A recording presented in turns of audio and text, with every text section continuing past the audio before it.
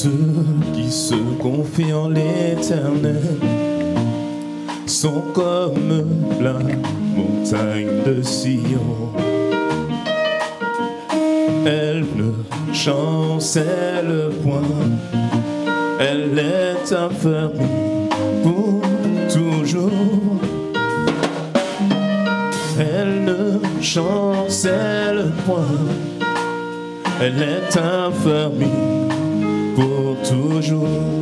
Ceux qui se confient, Ceux qui se confient en l'éternel sont comme la montagne de Sion. ceux qui se confient, Ceux qui se confient en l'éternel sont comme la montagne de Sion. elle ne chancelle point, Elle ne chancelle point,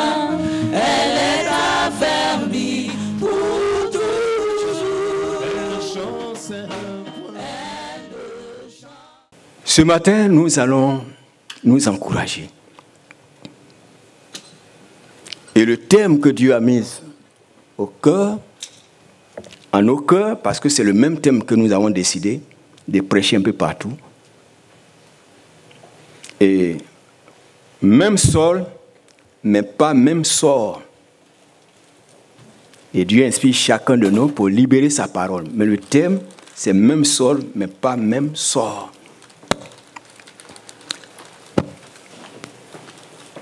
Nous allons vous expliquer les mots sol et sort.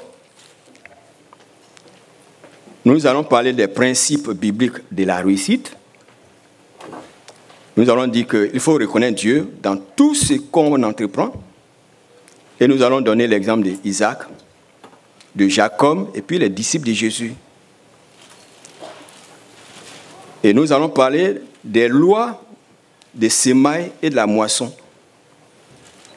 Et nous allons vous expliquer qu'est-ce que la loi des semailles, la loi de la moisson, et puis nous allons conclure. Et après quoi, nous allons prier pour les uns et pour les autres. Mon âme bénit le Seigneur.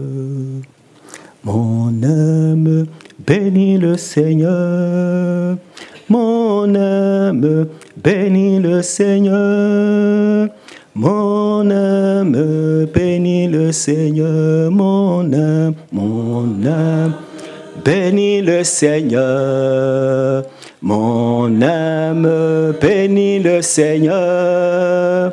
Mon âme bénit le Seigneur.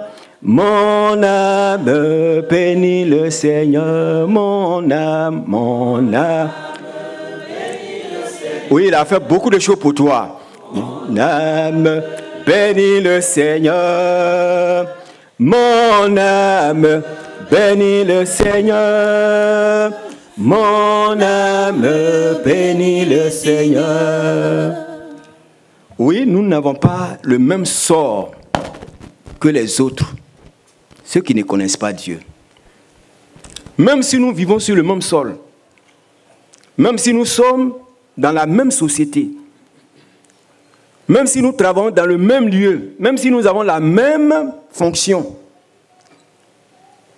J'étais une fois, c'était encore en Côte d'Ivoire, dans les années 80, j'étais déjà devenu chrétien et je marchais avec euh, un certain groupe de fonctionnaires. Nous étions tous des fonctionnaires dans une ville. Et puis, à un moment donné, on s'est retrouvés, on était en train de causer. Puis, les camarades ont dit, mais vraiment, monsieur Mille, mais cette ville-là, c'est une ville maudite. Quand on vient ici, tous ceux qui sont affectés ici, on a des problèmes, on ne réussit pas. Vraiment, on est malheureux. Cette année, nous avons décidé de quitter la ville. hein. Puis j'ai commencé à sourire. Et Dieu a mis un passage dans mon cœur que je vais partager avec vous d'abord à l'introduction. Deutéronome 28, 2 à 3.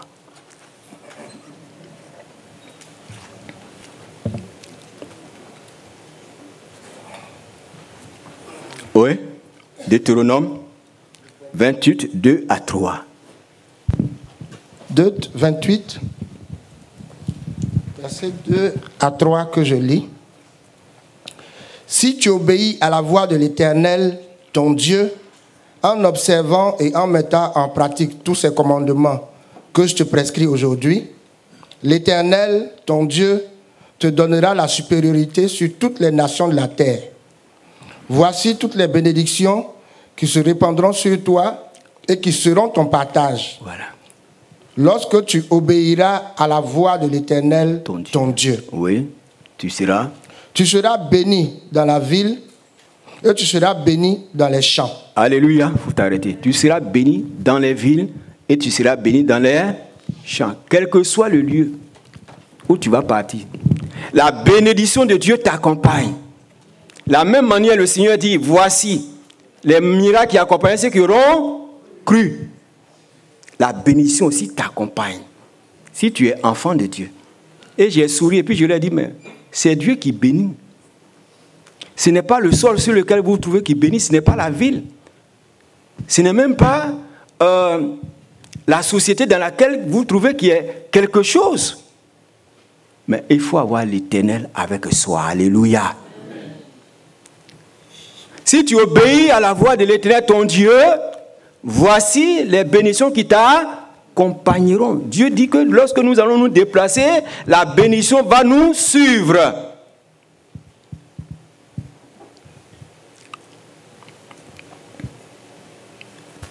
J'ai tellement beaucoup de témoins que je risque de ne pas prêcher, mais je vais prêcher. Sinon, j'ai beaucoup de témoins en tant qu'ancien travailleur. Bon, je travaille toujours, puis je suis pasteur. Mais quand j'étais encore fonctionnaire, quand j'arrive quelque part, Dieu change le lieu.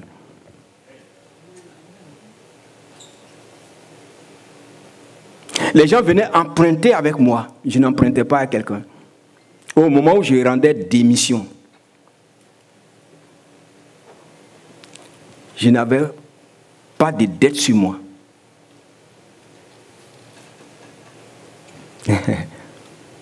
à un moment donné, je disais à ma femme, je ne vais plus au marché, des gens m'ont payé des habits. J'étais fonctionnaire, mais les gens m'ont payé des habits. Et puis les gens m'habillaient. Ils ne partaient pas au marché pour payer mes propres habits. Dieu, il est vivant. Alléluia. Dieu est vivant.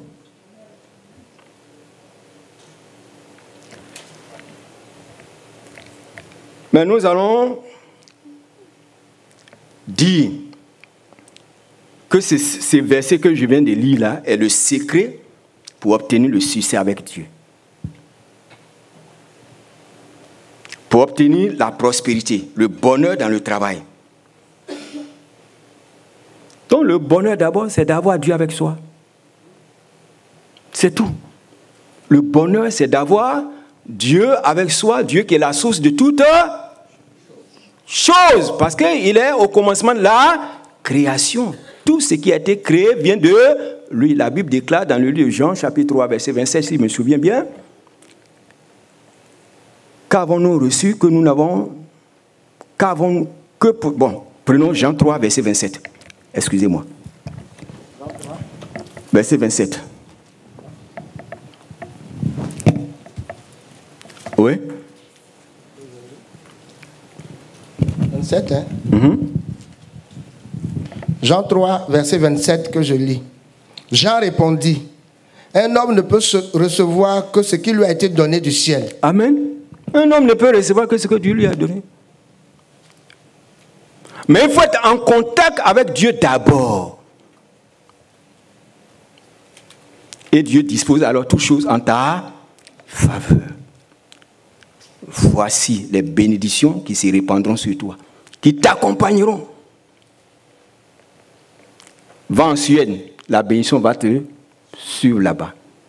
Va en Angleterre, la bénédiction sera avec euh, toi. Quitte Paris, va dans une autre ville de la France, la bénédiction viendra avec toi et dormira dans ta maison.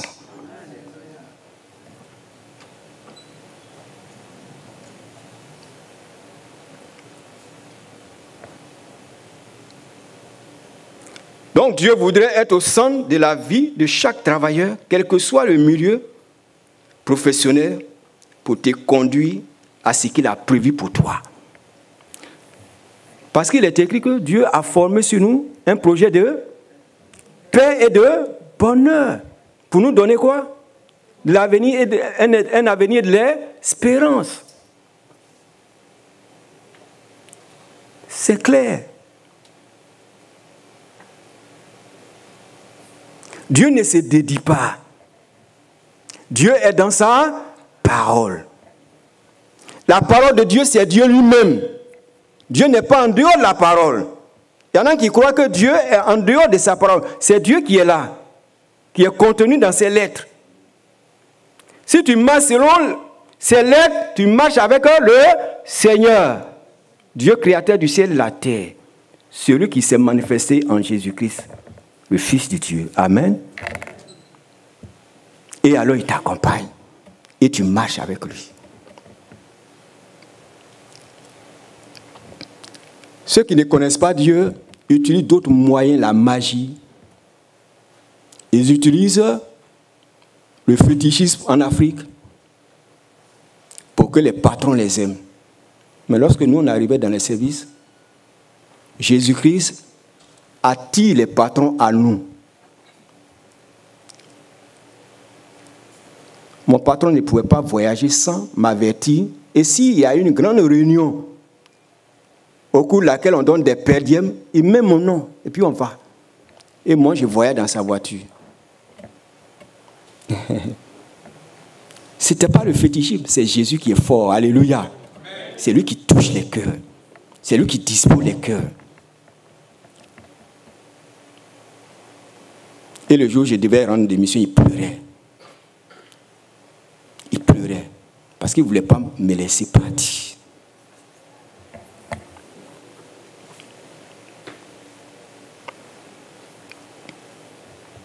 Le sol, c'est la terre. Bon, comme j'ai mis comme thème, même sol. Euh, le thème, euh, même sol, mais pas même sol, n'est-ce pas? Le sol, c'est la, terre, dans sa définition. C'est l'endroit, le lieu où, je peux dire, c'est le lieu que foulent nos pieds. Donc on peut dire que Ici, si je parle du sol, je vais parler de la France, n'est-ce pas? Nous sommes en France ici, n'est-ce pas? Je vais parler aussi de Villiers-les-Belles, je vais parler aussi de Paris, ou bien ton lieu de travail. C'est aussi l'entreprise, c'est de ça que je parle. Ou bien même le centre de formation, l'école.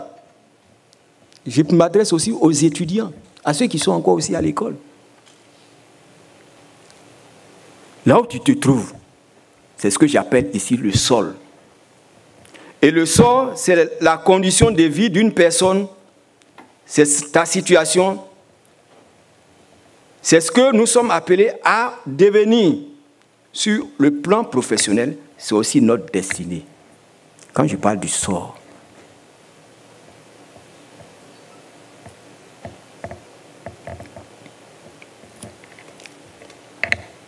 nous avons le même sol, des fois la même terre, le même pays, mais nous n'avons pas souvent les mêmes opports, les mêmes opportunités. Les mêmes grâces devant Dieu. On n'a pas les mêmes grâces. Ça dépend, même entre les travailleurs dans l'Église, ça dépend de la communion de chacun. Quelle est la communion que tu as avec Dieu? C'est très important. S'il y a un qui est plus proche de Dieu par rapport à l'autre, Dieu fera la différence. Dieu marquera la différence.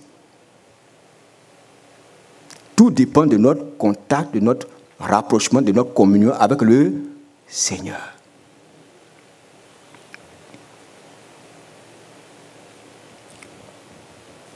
Ce qu'il faut comprendre, c'est que nous avons le même sol, ou les mêmes entreprises, les mêmes universités, les mêmes centres de formation, mais à chacun de nous, Dieu a prévu une situation une porte de bénédiction particulière. Alléluia. À chacun de nous. Donc il faut t'approcher de Dieu. Il faut s'accrocher au Seigneur.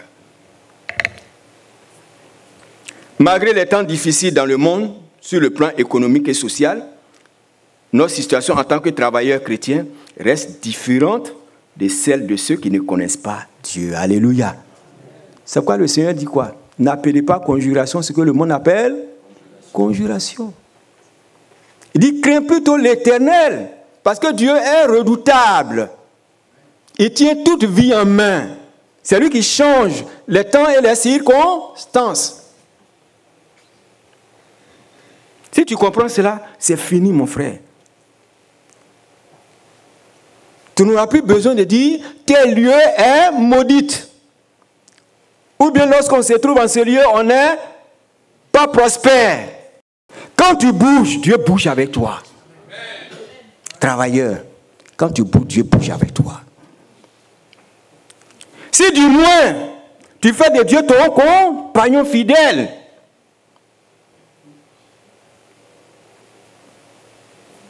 il sera avec toi. Il est obligé d'être avec toi parce que c'est ce qu'il a promis.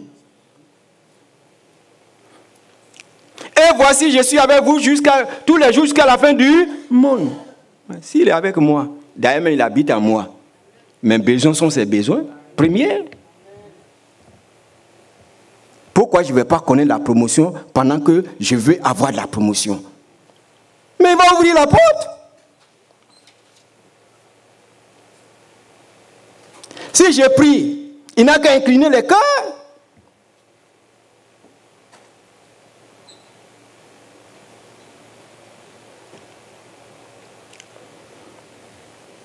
Regardez Somme 127, verset 1 à 2. Mon frère. Oui, Somme 127, verset 1 à 2. Somme 127, verset 1 à 2. Mm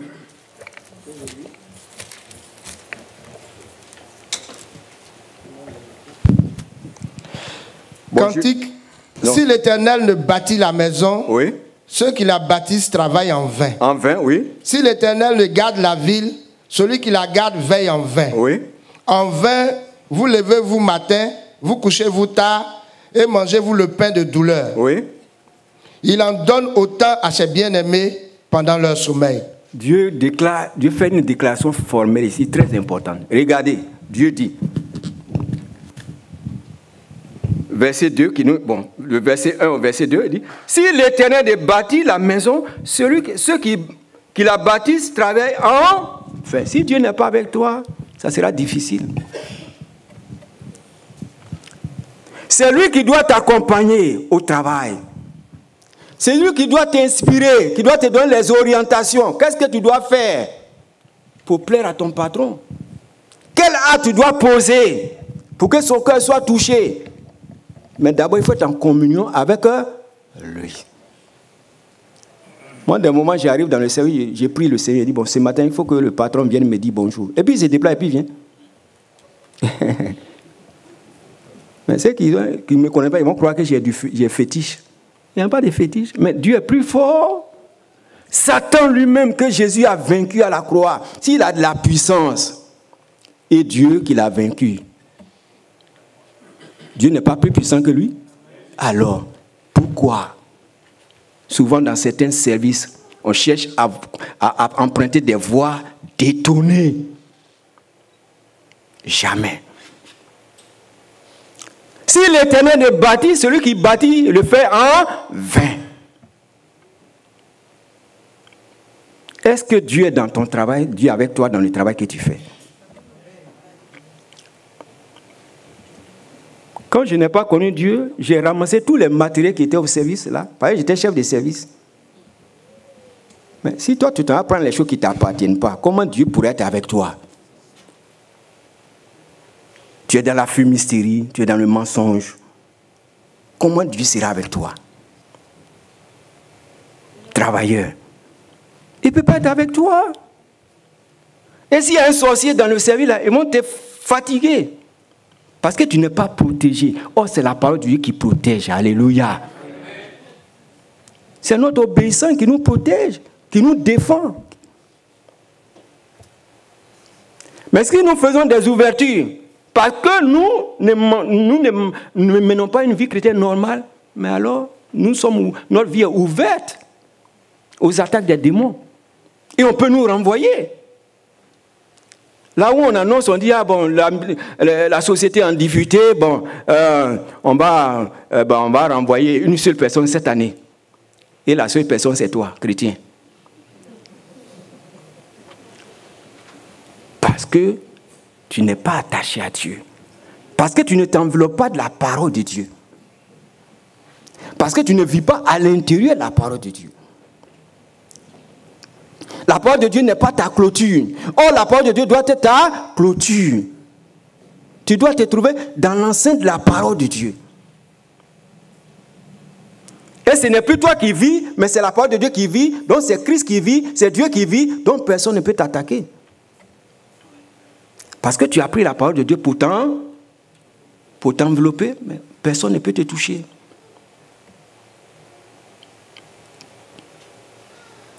Et le passage continue pour dire, au verset 2, en vain vous, en vain, vous levez-vous matin, vous couchez plus tard, hein, vous couchez tard. Dieu parle de ceux qui ne le connaissent pas. Très tôt le matin, ils sont allés au travail. Ils rentrent tard. Parce qu'ils veulent gagner beaucoup. Ils sont fatigués. Mais Dieu dit, regarde ce que Dieu dit. Et mangez-vous le pain de douleur. Ça, ils ne seront pas satisfaits. Et il est écrit, il en donne autant à ses bien-aimés pendant leur sommeil. Ils n'ont pas d'effort à faire. Quand je dis ils n'ont pas d'effort à faire, je ne peux, pas en train de dire qu'ils ne doivent plus travailler. Dieu n'aime pas les paresseux. Mais Dieu lui-même prend soin de te guider, de te conduire. Les gens qui sont autour de toi sont étonnés. Parce que Dieu lui-même te pousse, te pousse, te bénit, te pousse, te bénit, te pousse, te bénit. Alléluia. Dieu est bon. Dis, dis à ton frère, Dieu est bon.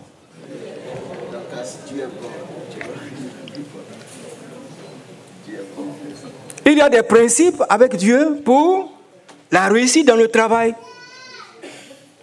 C'est quoi nous allons jeter un peu un coup d'œil sur la vie d'Isaac. Nous prenons Genèse 26, 12 à 13. Nous allons prendre cette portion. Genèse 26. Oui, 12 à 13.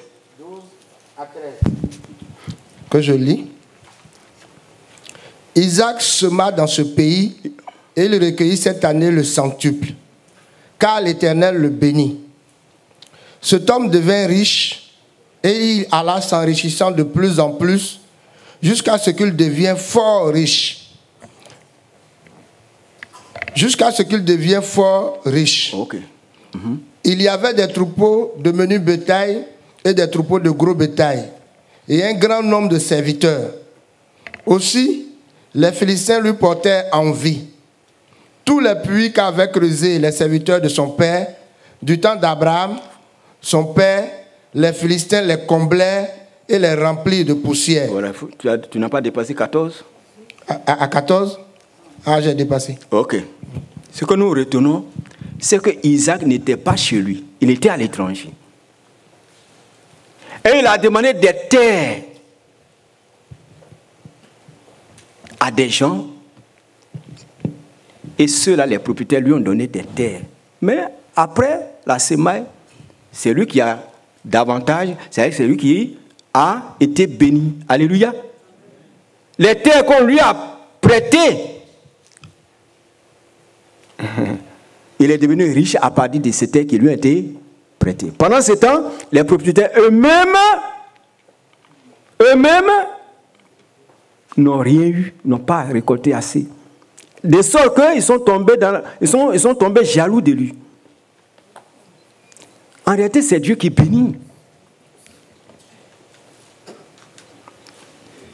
Isaac était à l'étranger, il n'était pas sur la terre de ses ancêtres. Il s'était retrouvé chez les Philistins, mais il fut béni plus que ces gens qui lui ont prêté leur terre. Vous ne voyez pas quelque chose là C'est passé Mais c'est extraordinaire. C'est comme ça que Dieu marche avec nous. Parce que Isaac était un homme qui aimait Dieu. Depuis son enfance d'abord, Isaac avait la foi. regardez à un moment donné, il était déjà un peu grand. Il devait avoir peut-être plus de 20 ans, je ne sais pas, ou bien 18 ans, quand même il était grand. Donc il, était, il avait assez de force. Et son papa lui dit, lève-toi. accompagne-moi, nous allons offrir un sacrifice à l'Éternel.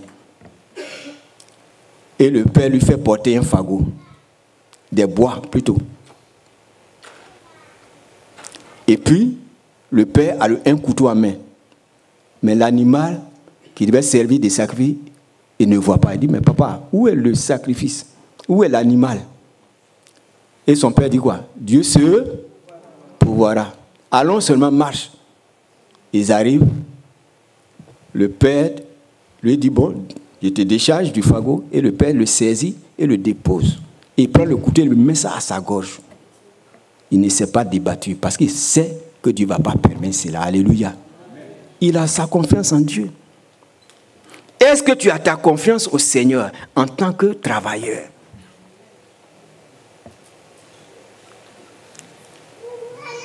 Même dans les moments difficiles, il faut garder ta confiance au Seigneur de sorte qu'il vienne à changer tout devant toi. Alléluia. Ne panique jamais en tant que travailleur.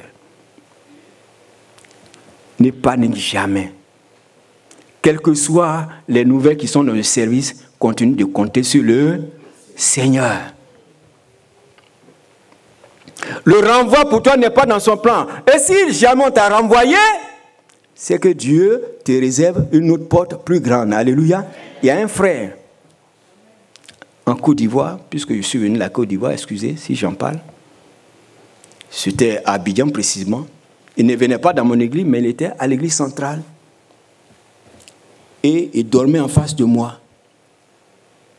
Sa maison était en face de l'église et moi je logeais dans l'enceinte de l'église. Le frère, c'est un chimiste. Et dans la société, son patron, qui était libanais, a appris qu'il a commencé à faire quelque chose euh, dans le quartier où il se trouve. Mais quelques jours avant qu'il ne le renvoie, il avait commencé à percevoir un salaire d'un million, de plus d'un million.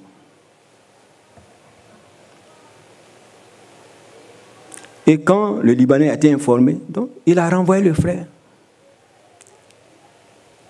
Il pleurait, il était paniqué, il était triste. Et comme j'habitais toujours en face de lui, tous les matins, à 5 heures du matin, je suis chez lui à la maison. Et nous, et nous prions. Et j'ai commencé à l'encourager. Et sa femme aussi, que j'ai déjà entretenue, aussi a suivi dans cette même voie. Et nous l'avons commencé à l'encourager. J'ai pris les chrétiens qui sont dans mon église parce qu'ils n'avaient pas encore d'ouvriers avec lui. J'ai pris mes enfants, mes, propres enfants même, puis certains chrétiens qui partaient dans, sa, son lieu qu'il a créé. Ils faisaient du savon, des parfums, des petites choses. Mais c'est devenu une grande société aujourd'hui. Il vient même souvent ici. Et il partait travailler gratuitement. J'ai dit, bon, allez-y l'aider. Ils ont commencé à travailler avec lui. Mais aujourd'hui, hein, il ne regrette plus. Alléluia. Dieu a ouvert une porte. Je ne dis pas son nom, mais Dieu a, ouvert une porte. C'est comme ça que Dieu fait, parce qu'il marchait avec le Seigneur. Avant qu'il ne soit renvoyé, nous, comme nous sommes en face, mais il venait soutenir l'Église. C'est quelqu'un qui est vraiment libéral. Et Dieu ne l'a pas abandonné. Aujourd'hui, chaque fois il vient en France ici. L'année dernière, il était venu. Il était venu, je suis venu, il est venu déjà deux fois. Et chaque fois qu'il vient, il m'appelle, je vais chez lui. Et il me bénit aussi. Alléluia. Il me bénit aussi. Certainement, beaucoup le connaissent, mais je ne dis pas son nom. Mais Dieu avec lui. Dieu n'abandonne jamais ses enfants bien-aimés. C'est ce que je voulais vous dire. Vous avez, Dieu vous a donné du travail. Il veut passer par ce travail pour vous rendre prospère. Mais il faut vous attacher à lui. Il faut vous attacher à lui. Il ne vous abandonnera jamais. Jamais. Dieu n'est jamais le premier à nous abandonner. C'est nous qui abandonnons d'abord le Seigneur et puis nous abandonne. Sinon, Dieu n'a jamais été le premier à abandonner. Jamais. Surtout qu'il t'a donné du travail. Il est prêt à t'élever. Il est prêt à te bénir. Il est prêt à te faire avancer des progrès en progrès dans ce qu'il t'a donné de faire pour bâtir ta vie. Dieu ne nous a pas appelés à être malheureux, jamais. Ce n'est pas le but de Dieu. Dieu n'a pas un but malveillant.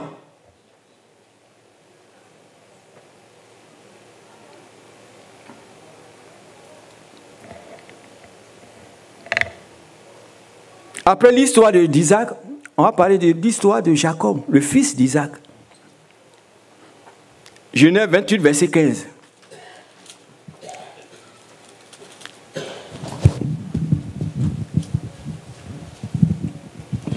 Genèse 28, verset 15, Oui. que je lis. Voici, je suis avec toi, je te garderai partout où tu iras, et je te ramènerai dans ce pays, car je ne t'abandonnerai point, que je n'ai exécuté ce que je te dis. Amen. Je ne t'abandonnerai point. Mais à quel moment Dieu a dit cela à Jacob? Jacob était appelé usurpateur, n'est-ce pas?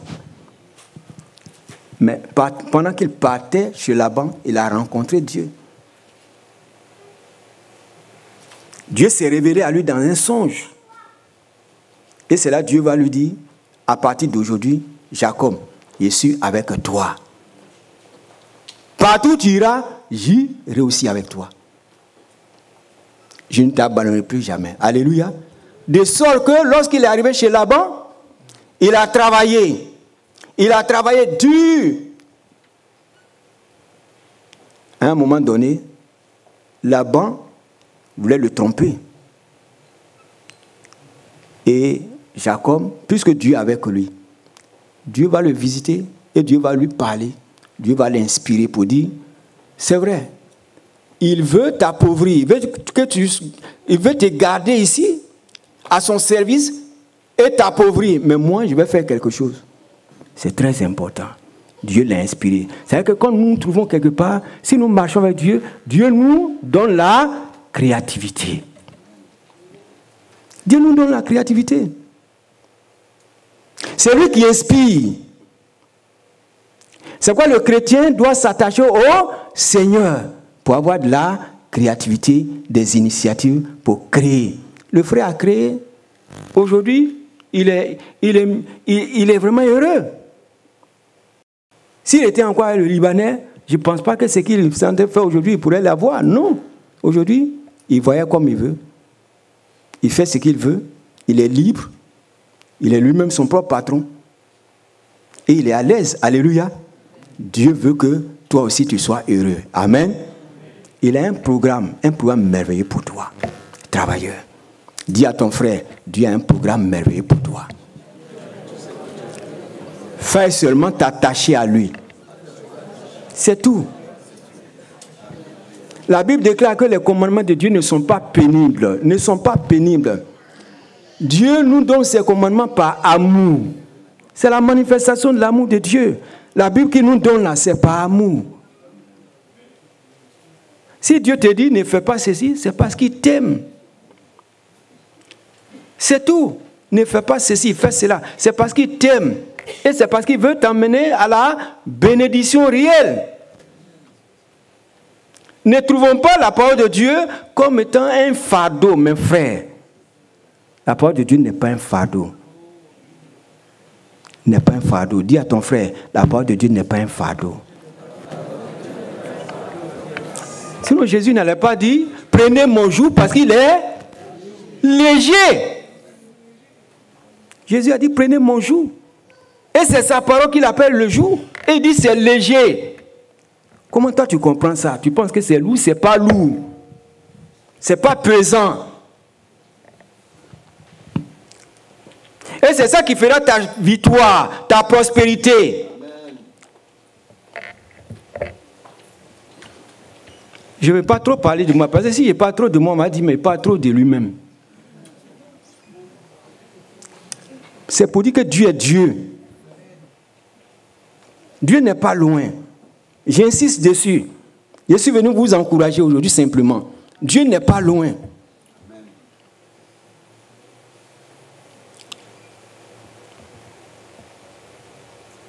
Quand j'arrive quelque part, Dieu fait quelque chose de nouveau. Ça, c'est comme ça. Il fait quelque chose de nouveau parce qu'il vit avec moi. il vit avec moi.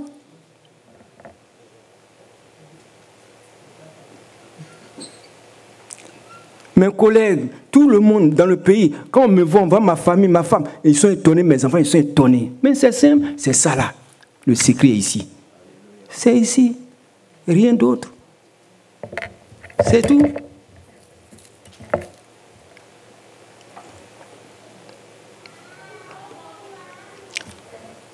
Les disciples de Jésus, on va lire, on va survoler, parce que le temps est trop avancé.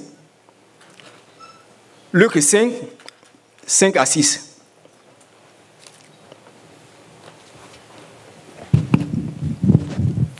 Luc 5, 5 à 6.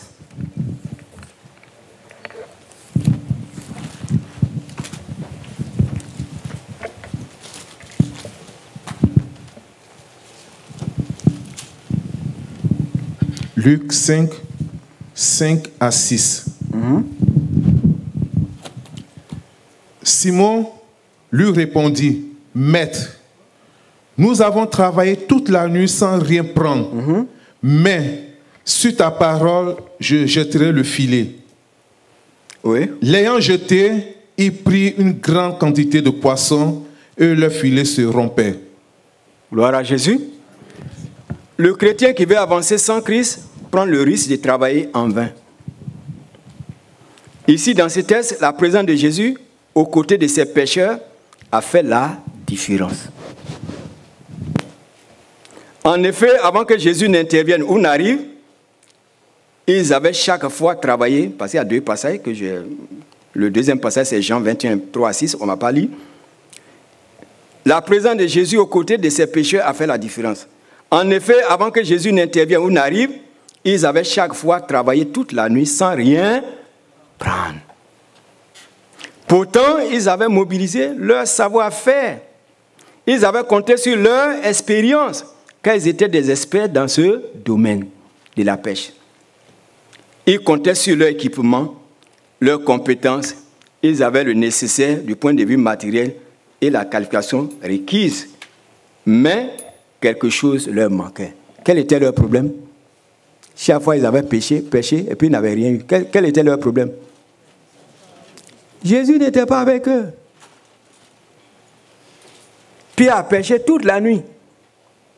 Il n'a rien eu. Quand il a prêté sa bague au Seigneur et que le Seigneur a fini de prêcher, le Seigneur a dit, il faut jeter maintenant le filet. Après la résurrection du Seigneur, à un moment donné, ils ont décidé de pêcher encore. Ça, c'est dans le livre de Jean, chapitre 21. Et ils sont allés pêcher. Ils ont pêché toute la nuit, rien. Et après quoi, le Seigneur a apparu sur la plage là-bas. Et puis, il les a interpellés. Il dit, bon, vous n'avez rien à manger? Bon, mettez le filet de ces côtés. Et quand ils ont jeté leur filet, ils ont eu encore des poissons en grande quantité. Amen. Donc, le problème, c'est que Jésus n'était pas. Donc, il manquait une chose essentielle la présence de Jésus-Christ dans leur projet. Quand Jésus manque dans ton projet, mon frère, tu vas tourner en rond. Tourner en rond en tant qu'enfant de Dieu. Si Jésus manque dans tes projets, tu vas tourner. Il y en a qui, avant d'entreprendre, ils ne viennent même pas voir le pasteur pour prier. Ils ne font pas connaître leur projet. Il est assis, il ne prie pas, il ne jeûne pas, il ne demande pas au Seigneur. Il est assis. Quand ça tombe dans son esprit, il dit Ah bon, je vais faire telle chose. Il s'engage. Quand il échoue, et puis maintenant il vient en parler. Non. Dieu a mis un homme de Dieu là. Si tu as un projet, va le voir. Pasteur, voici ce que je faire.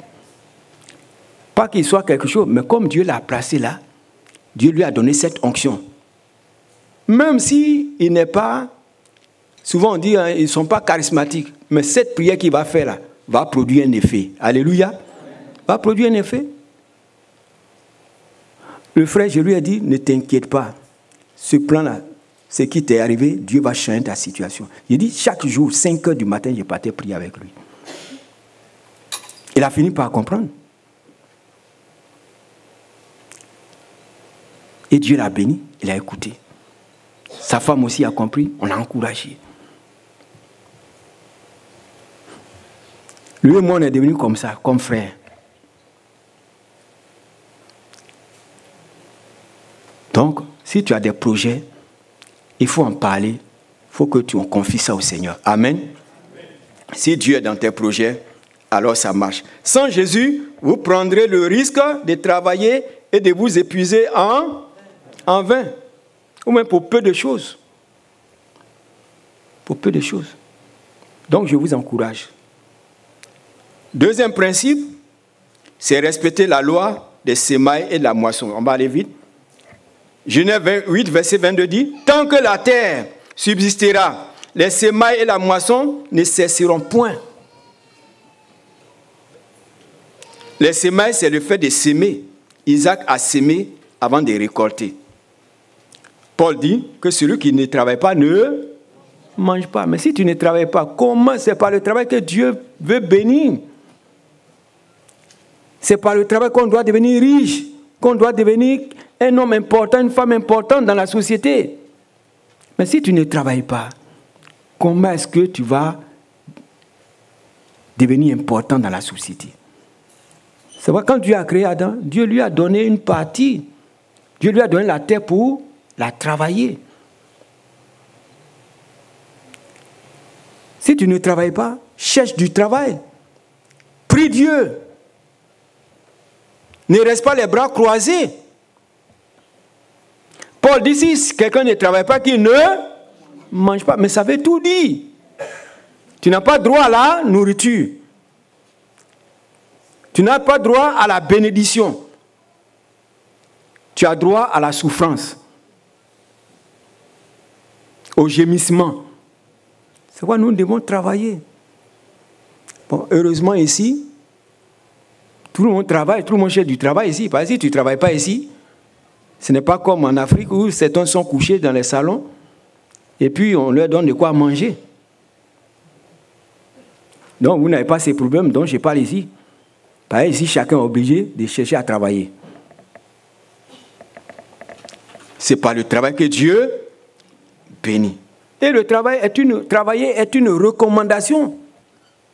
Ça fait partie des dix commandements. Donc nous devons travailler.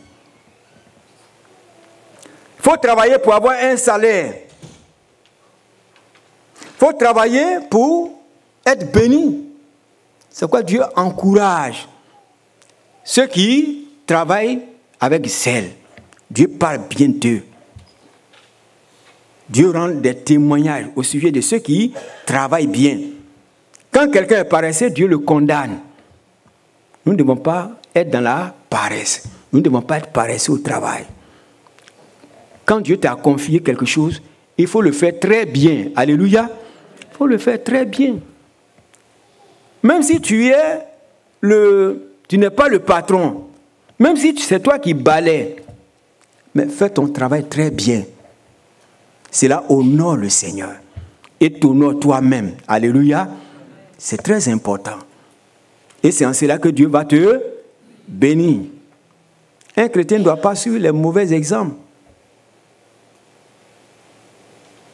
Il y en a qui arrivent tout le temps en retard.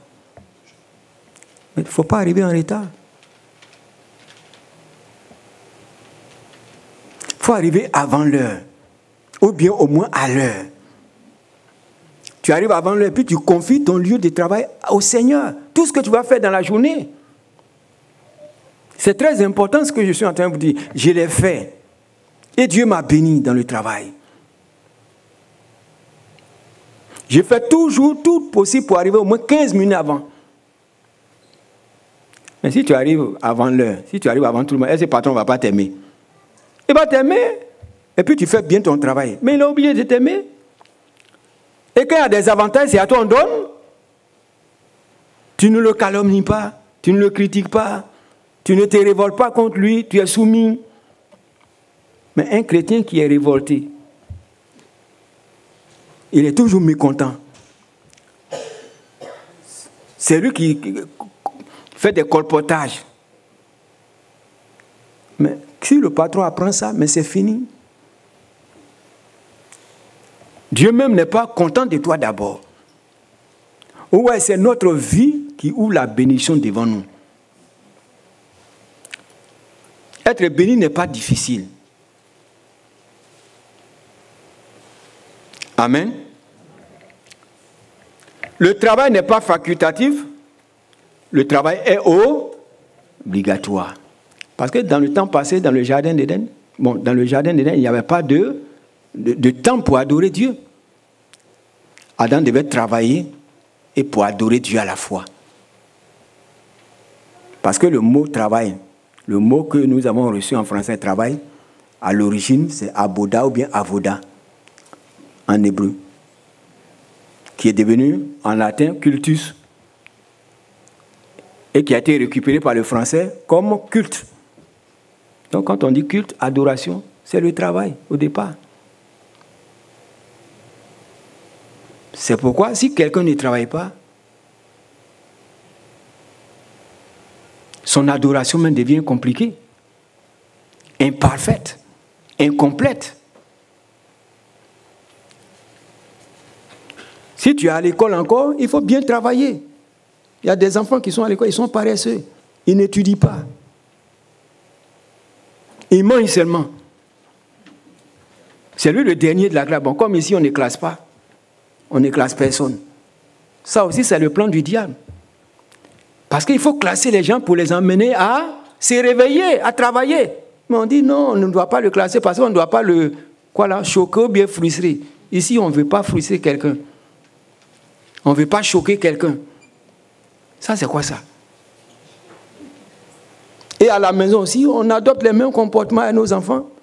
Mais ils vont pas, demain, ils vont nous créer des problèmes. S'il n'y a pas de comparaison, qu'est-ce qui va amener les gens à se réveiller, à mieux faire? Pas tout est la même chose. On ne lui dit rien. Il travaille bien ou il ne travaille pas bien, on ne lui dit rien. Mais c'est ça à l'aise.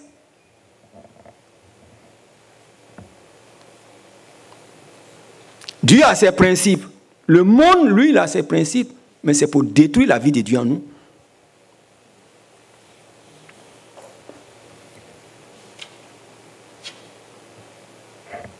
Nous travaillons pour, prendre, pour rendre gloire à Dieu.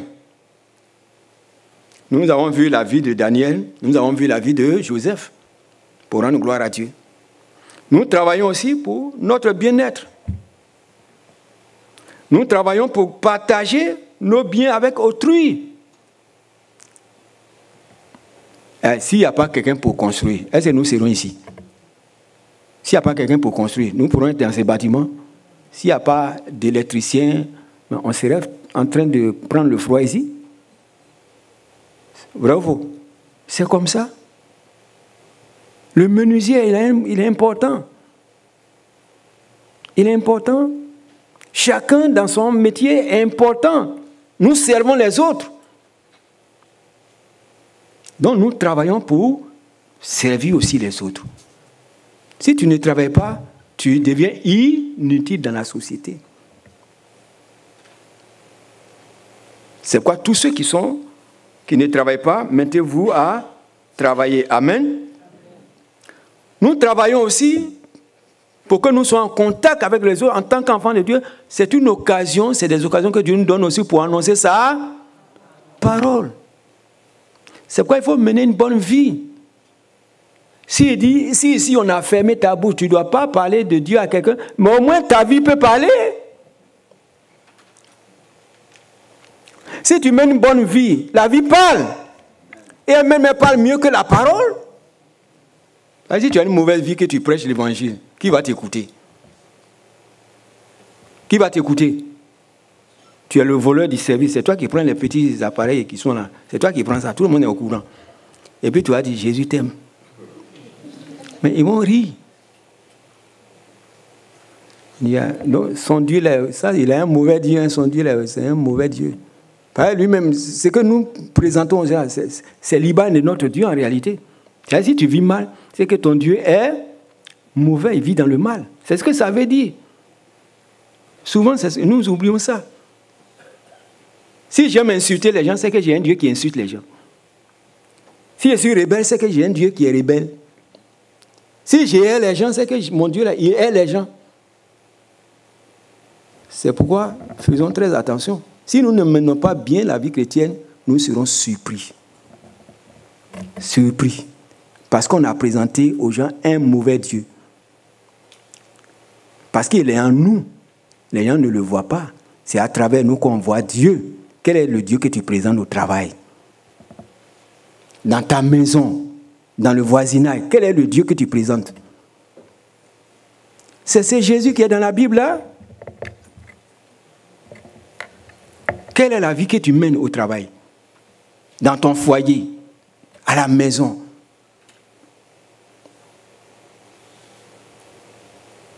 C'est ça qui est la vérité. C'est ça qui est le véritable évangile. C'est le comportement. C'est quoi Jésus dit quoi Vous êtes la lumière du monde. Une lumière sert à éclairer, n'est-ce pas Il dit vous êtes le sel de la terre. Demandons à nos moments de préparer, puis elle ne pas le sel dedans. Qu'est-ce qui va se passer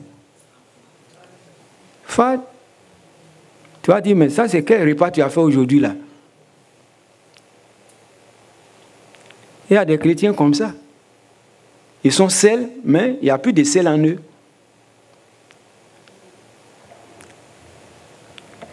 La loi de la moisson. La moisson, c'est le fruit de la semence.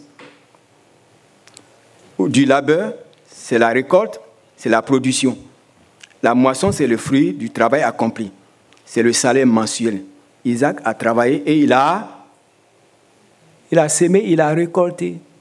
Donc si tu ne travailles pas, pourquoi tu voudrais, que, tu, voudrais obtenir un salaire? Tu ne vas rien avoir. C'est le travail qui paye. Amen. Amen. Et c'est le travail qui a fait que Isaac est devenu davantage riche. C'est quoi Dieu nous donne aussi un moyen pour sécuriser ce que nous gagnons. Malachie 3, 10 à 12. On va dire, il est revenu sur ces passages-là encore. Mais tu es le travailleur. Dieu veut sécuriser ton avoir. Regardons, on va lire ces passages souvent, parce que souvent, on ne lit pas profondément, euh, on ne lit pas assez ces, passages. On le lit de manière superficielle. Et des fois, on entend ce qu'on veut entendre. Mais Dieu veut te faire entendre ce que lui veut que tu entendes. Amen. Oui Oui, on a presque fini à partir du verset 6. Oui. Pas 6, hein 10. 10.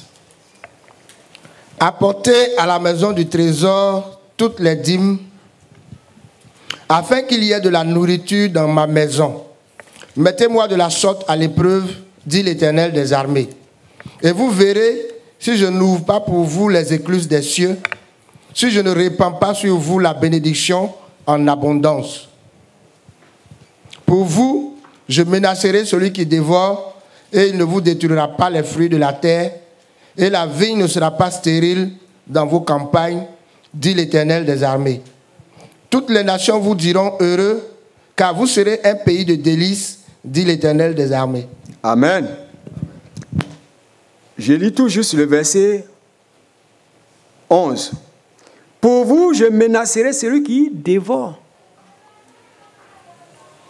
Dieu dit, si tu apportes la dîme et les offrandes dans sa maison, le fait d'avoir apporté ces choses dans sa maison pour qu'il y ait de la nourriture, pour que les besoins soient pourvus, lui c'est charge de protéger ton avoir, ce que tu possèdes. C'est bon, mais ce n'est pas bon? C'est tout. C'est pour sécuriser ce que nous avons. Parce qu'il y a quelqu'un qui rôde, qui dit que les biens lui appartiennent, puisque Adam lui a donné la terre. Il a même dit à Jésus, cette terre m'a été donnée, le monde m'a été donné, et je la donne, à, je, donne cette terre à qui je veux, n'est-ce pas? Il n'a pas dit ça, mais ça lui appartient. Il faut que tu apportes la dixième partie à Dieu, et Dieu te sécurise alors ton avoir. Amen. Dieu sécurise ton avoir. C'est la seule façon que Dieu te demande de faire pour qu'il sécurise ce que tu as, pour qu'il te bénisse, pour qu'il te protège. Comme contre celui qui dit que les biens lui appartiennent. effectivement, les biens lui appartiennent. Adam lui a donné. Tu ne vas pas me dire le contraire. Mais si ça lui appartient, mais il y a un vrai propriétaire, celui qui a créé ces choses, c'est à lui qu'il faut apporter la dixième partie et il protège ce que toi tu possèdes. Pour te rendre prospère. Il le dit, il dit, si tu le fais, même les nations diront que tu es et reconnaîtront que tu es prospère, parce que Dieu va te rendre prospère, effectivement.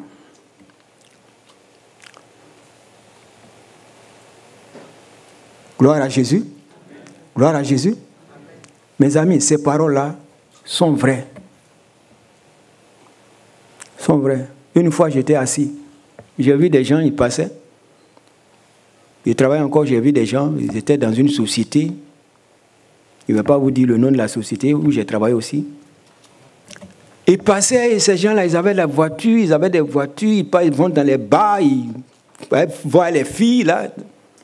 Et puis je suis arrêté, je les ai vus et puis j'étais fâché. J'ai dit à Dieu, mais moi je paye toujours le dîme. Ces gens-là, tu leur donnes l'argent et puis ils s'en vont faire n'importe quoi avec.